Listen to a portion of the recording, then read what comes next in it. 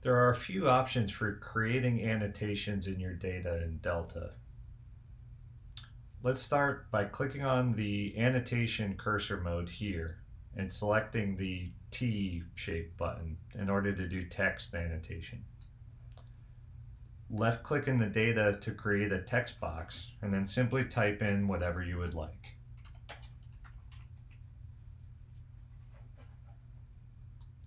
Another option you have is to use arrows to point things out.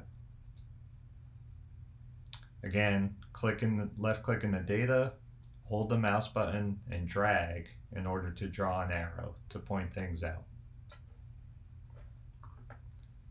You can also draw boxes in order to highlight certain features of your data set. In this case, I'm going to draw a box around the peaks of interest here.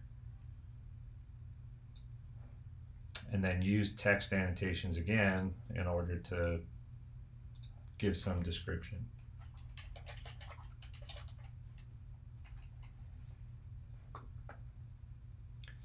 You can change things like the font size or color of annotations as well while you're in this cursor mode. To increase font size, click on the text, then right click and hold the mouse button. You can then choose something like size or change colors of things like the arrows.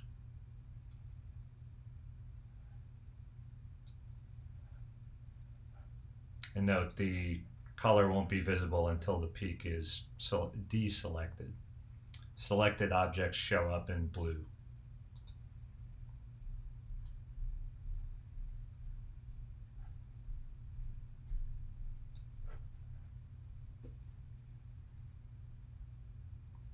Note that these annotations would show up if you were to print the data as they appear right now.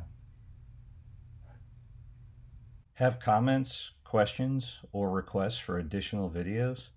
Please visit our forums on the nmrsupport.jeol.com website or feel free to leave a comment on this video. Thanks for watching.